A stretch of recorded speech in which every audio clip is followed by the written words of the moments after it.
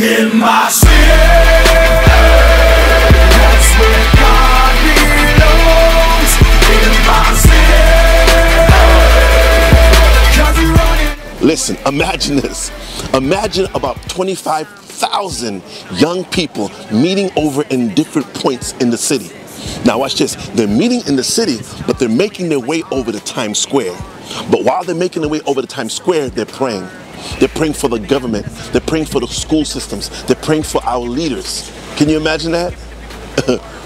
God Belongs in Our City is an organization that that that that have that, that mobilizes young people to pray. And they're having a prayer walk on October 25th in the morning. This is for all young people, a, a prayer walk. And guess who's going to be there? Kingdom U. We are going to be there. Join us.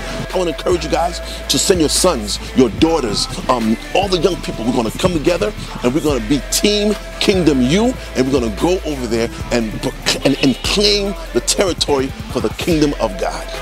We will be meeting here at Kingdom Life at 7:45, and we're going to make our way over to the city and meet the other young people all over and we are going to go on this prayer walk and we are going to trust God and exercise our faith, knowing that prayer changes things. We believe in prayers, we believe in the miracles of prayers, we believe that God is going to do what He says He's going to do.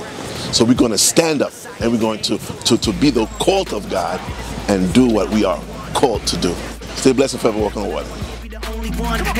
In here, show me some. Get your hands up for the Holy Son.